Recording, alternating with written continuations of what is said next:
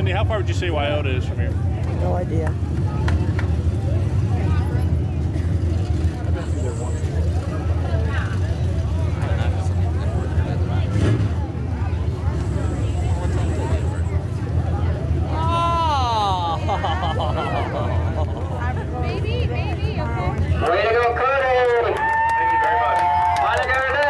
Yep, got her done again. Second time this year at Stuart. So uh, just made some changes. Been chasing it the middle of the year. Made made some changes and worked with Jake Murray and he put me on the scales and put his green thumb to the car and went to Corning last night. Had a good run. Came here and got lucky, I guess.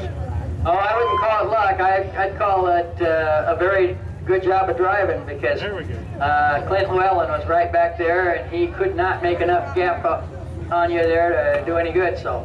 Yeah, there was uh, it was running good there towards the middle of the race. My tires really started kind of going away at the end, or I just kept messing up. I don't know what it was, but uh, ended up holding off. Uh, I just want to thank all my sponsors. Uh, we got to thank uh, Advantage Car Wash, uh, Element 102, Wiota Steakhouse, the guys up in the stands that help me every week. Um, my dad, he's put a lot of work on on putting his body back together every week because I become Stewart and have to fix it every week. So put the old body on this year or th- for this weekend, and uh, must be lucky, I guess.